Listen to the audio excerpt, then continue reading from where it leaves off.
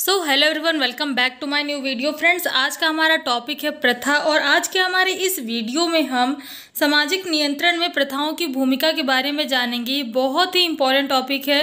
तो इसलिए वीडियो को पूरा एंड तक वॉच करिएगा, बिल्कुल भी स्किप मत करिएगा। फ्रेंड्स वीडियो अगर पसंद आए तो वीडियो को लाइक और ज़्यादा से ज़्यादा लोगों के साथ शेयर ज़रूर करिएगा, जिससे कि वीडियो ज़्यादा से ज़्यादा लोगों तक पहुँच सके। अगर आप चैनल पर नए हैं और आपने अभी तक चैनल को सब्सक्राइब नहीं किया है तो आपसे बस यही एक रिक्वेस्ट करना चाहूँगी कि प्लीज़ चैनल को सब्सक्राइब करके बेलाइकन को ऑल प्लेट कर दीजिएगा, जिससे कि आपको मेरी लेटेस्ट वीडियोज़ की अपडेट्स मिल सके। क्योंकि फ्रेंड्स इस चैनल पर आपको इस तरह की इन्फॉर्मेटिव वीडियोस रेगुलर मिलती रहती हैं। तो चलिए अभी बिना किसी तरीके बढ़ते हैं वीडियो की ओर और, और जानते हैं सामाजिक नियंत्रण में प्रथाओं की भूमिका के विषय में। फ्रेंड्स प्रीवियस वीडियो में हमने प्रथा के बारे में जाना था जिसमें हमने ये जाना था कि जब कोई जनरीति पीढ़ी दर पीढ़ी चलती रहती है और उसे सामाजिक मान्यता प्राप्त हो जाती है, तब उसे ही हम प्रथा कहते हैं।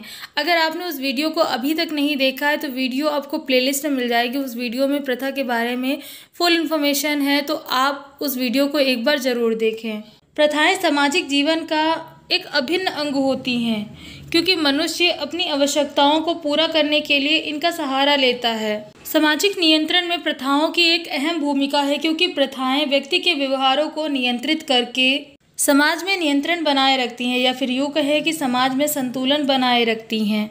तो चलिए आइए अभी जानते हैं कि सामाजिक नियंत्रण में प्रथाओं का क्या महत्व है।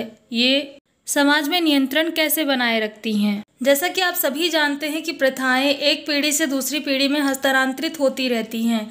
मतलब एक टाइम पर बड़े बुज़ुर्गों ने जो कुछ भी सिखाया, वो अपने दूसरी पीढ़ी को बताते हैं और वो पीढ़ी फिर अपनी आने वाली पीढ़ी को समझाती है और बताती है। इस तरीके से प्रथाएँ एक पीढ़ी से दूसरी पीढ़ी में हस्तांतरित होती रहती हैं। और ऐसे ही समय के साथ साथ ये मानव जीवन के व्यवहारों का एक अभिन्न अंग बन जाती हैं। इनके द्वारा समाज से जो मान्यता प्राप्त प्रविधियाँ हैं, उनको सीखने की प्रक्रिया बहुत ही सरल और बहुत ही तेज गति से होती है। कहने का मतलब यह है कि लोग उन प्रविधियों को बहुत ही सरलता से और बहुत ही जल्दी सीख लेते हैं। न केवल इतना, बल्कि प्रथाओं के ही द्वारा व्यक्ति मूल्यों के अनुपालन की कला सीखकर समाज में अपना योगदान देता है और सामाजिक नियंत्रण का कारण बन जाता है। हमारे पूर्वज अपने अनुभवों से जो ज्ञान प्राप्त करते हैं, जो अर्जित करते हैं, वे अपनी पीढ़ी को सरलतापूर्वक इनके ज़रिए ही, इनके माध्यम से ही सिखा पाते हैं, क्योंकि प्रथाएँ उस प्रक्रिया को बहुत ही सरल कर देती हैं। और इस तरह से प्रथाएँ सीखने की प्रक्रिया के द्वारा सामाजिक नियंत्रण में अपना पूरा पूरा योगदान देती हैं। जैसा कि आप सभी जानते हैं कि प्रथाएँ अनेक सामाजिक समस्याओं को हल करने में सक्षम होती हैं। कठिन से कठिन परिस्थितियाँ आने पर भी व्यक्ति प्रथाओं के सहारे उनका समाधान बहुत ही सरलतापूर्वक खोज लेता है। प्रथाएँ समय के साथ साथ नई विधियों को जन्म देकर सामाजिक नियंत्रण को और भी ज़्यादा मज़बूत करती हैं। जैसा कि अभी हमने जाना कि प्रथाएँ व्यक्ति के जीवन का एक अभिन्न अंग होती हैं। एक बच्चा जब जन्म लेता है, वो तभी से प्रथाओं से जुड़ जाता है। प्रथाओं के बीच ही वो अपनी आँखें खोलता है। प्रथाओं के नियमों का पालन करते हुए ही उस शिशु का लालन पालन होता है। यहाँ तक कि उसका मृत्यु संस्कार भी प्रथाओं के अनुरूप ही होता है। मतलब जैसी प्रथा होती है, जिस भी परिवार में बच्चे ने जन्म लिया है, उसी प्रथा के अकॉर्डिंग ही उसका मृत्यु संस्कार भी किया जाता है। एक तरह से देखा जाए तो प्रथाएँ व्यक्तित्व के विकास में बहुत ही महत्वपूर्ण भूमिका निभाती हैं और इस तरह से व्यक्ति के व्यक्तित्व का विकास करते हुए प्रथाएँ सामाजिक नियंत्रण के कार्य में अपना भरपूर सहयोग देती हैं। न केवल इतना, बल्कि सामाजिक कल्याण में वृद्धि करके भी प्रथाएँ सामाजिक नियंत्रण में अपना महत्वपूर्ण योगदान देती हैं। जैसा कि आप सभी जानते हैं कि प्रथाएँ व्यक्ति को समाज विरोधी कार्यों से सुरक्षित रखती हैं मतलब ऐसे कामों को करने से रोकती हैं जो कि समाज के विरुद्ध है, जिससे समाज को हानि पहुँचे, क्योंकि प्रथाओं का विकास समाज हित और जन कल्याण को ध्यान में रखकर ही किया जाता है।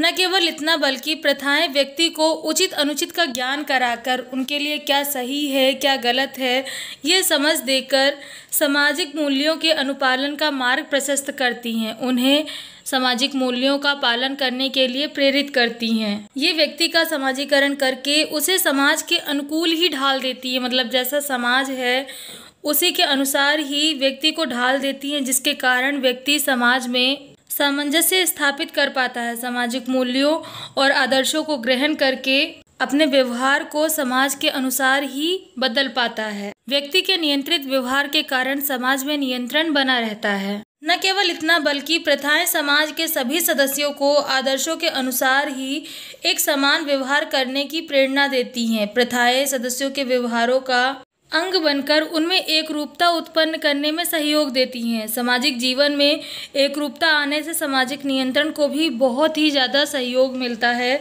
जिससे कि समाज में नियंत्रण बना रहता है। क्योंकि सामाजिक एकरूपता व्यक्ति की व्यक्तिवादी विचारधारा पर अंकुश लगाती है, रोक लगाती है। उसे केवल और केवल अपने बारे में न सोचकर सबके बारे में सोचने के लिए प्रेरित करती है, जिसकी वजह से समाज में व्यक्तियों के बीच संघर्ष की भावना कम और सहयोग की भावना ज़्यादा होती है। तो फ्रेंड्स, ये थी जानकारी सामाजिक नियंत्रण में प्रथाओं की भूमिका के विषय में। आई होप वीडियो में दी गई जानकारी आपको पसंद आई होगी।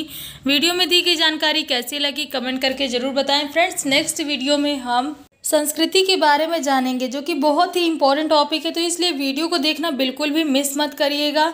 वीडियो की नोटिफिकेशन आपको टाइमली मिल सके, इसके लिए चैनल को सब्सक्राइब करके बेल आइकन को ऑल प्लेट ज़रूर कर दीजिएगा। फ्रेंड्स वीडियो अगर पसंद आई हो तो वीडियो को लाइक और ज़्यादा से ज़्यादा लोगों के साथ शेयर ज़रूर करें, जिससे कि ये वीडियो ज़्यादा से ज़्यादा लोगों तक पहुँच सके।